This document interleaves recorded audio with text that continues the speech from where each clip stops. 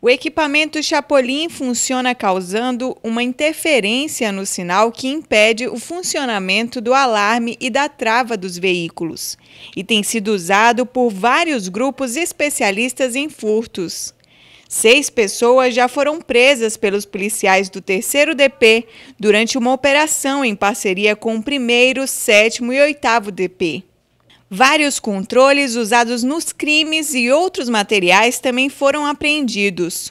Dois inquéritos ainda estão em andamento e alguns grupos ainda agem pela cidade.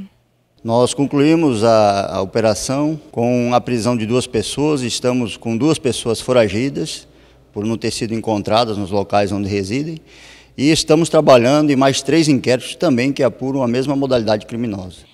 Para evitar a ação dos bandidos, uma recomendação é aguardar um pouco após acionar o alarme e verificar manualmente se o carro está realmente fechado. Tendo em vista a facilidade de, do travamento, da, da, do destravamento né, das, dos veículos e também do bloqueamento do alarme do veículo, nós recomendamos às pessoas que sempre quando acionem o alarme, que verifique e confirme lá manualmente a porta do veículo se realmente travou ou não, porque normalmente esses criminosos eles estão perto dos veículos e acionam um controle denominado chapulim, onde evita o travamento das portas. Então, se a pessoa confirmar manualmente se a porta está travada ou não, ela irá evitar o furto no veículo. E é claro, evitar deixar objetos de valor dentro do carro, ao estacionar principalmente em ruas de pouco movimento.